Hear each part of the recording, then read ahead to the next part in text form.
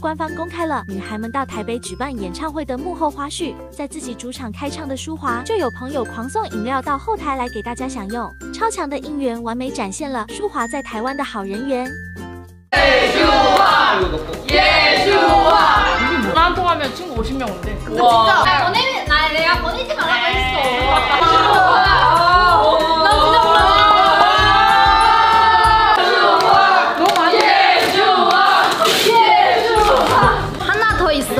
있어 서프라이즈. 그래서 비밀에 들어왔어. 혹시 우리 고향 우리 집 반가웠나 봐. 반가워서. 另外，舒华在后台准备时，因要在家人面前演出而紧张到不行，甚至还公开透露从没在家人面前摇过屁股呢。 오늘 진짜 왜냐면 저는 진짜 멋있게 세시하게 하고 싶은데 근데 가족들 한 가족들 앞에서 엉덩이 흔든 적이 없어요.